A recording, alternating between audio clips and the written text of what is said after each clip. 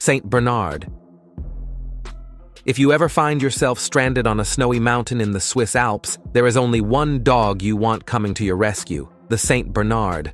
A true lifesaver able to endure extremely cold temperatures to find lost explorers and even warm rescued victims with their body heat. Known as playful, charming, and curious, these dogs bred since the 17th century are called extraordinarily muscled and massive. They stand at up to 30 inches at the shoulder and weigh as much as 180 pounds.